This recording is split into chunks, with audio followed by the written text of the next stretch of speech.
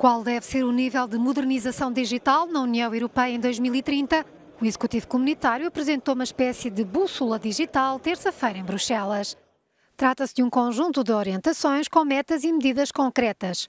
O objetivo é combinar vantagens económicas com o bem-estar dos cidadãos, que terão de adquirir mais competências num mundo cada vez mais interligado por tecnologias digitais. A digitalização não é um fim em si mesmo, tem que ter um propósito. Para nós, uma década digital bem-sucedida significa que nos tornamos num parceiro próspero, confiante e aberto. É isso que queremos ser neste mundo. E temos que garantir que todos nós beneficiamos do bem-estar de uma sociedade digital inclusiva. Há oportunidades para investimento, mas também é preciso enfrentar ameaças em termos de segurança das infraestruturas e do respeito pelos direitos humanos, políticos e sociais. No Parlamento Europeu, espera-se que a inclusão seja efetivamente uma prioridade. Tal como falámos de um pacto ecológico, chegou o momento de falar sobre um pacto digital. Digo isto porque tivemos inúmeras estratégias digitais, com uh, algumas a alcançarem os seus objetivos, mas muitas delas não o conseguiram.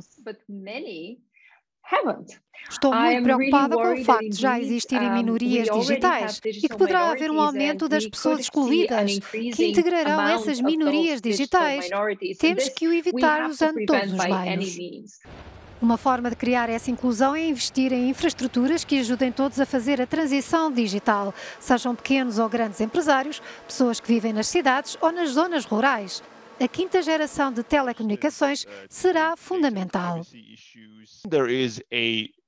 É necessário investir em infraestruturas básicas. De facto, a Europa terá de investir muito mais na sua capacidade de utilizar a internet 5G de alta velocidade.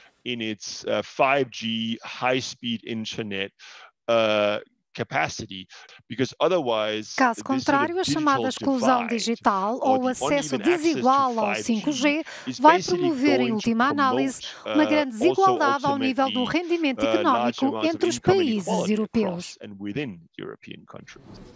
A pandemia de Covid-19 revelou-se um grande teste, já que as tecnologias de informação foram cruciais para reorganizar o trabalho, o estudo e o consumo. A Comissão Europeia deseja que pelo menos 80% dos adultos adquiram competências digitais básicas até 2030.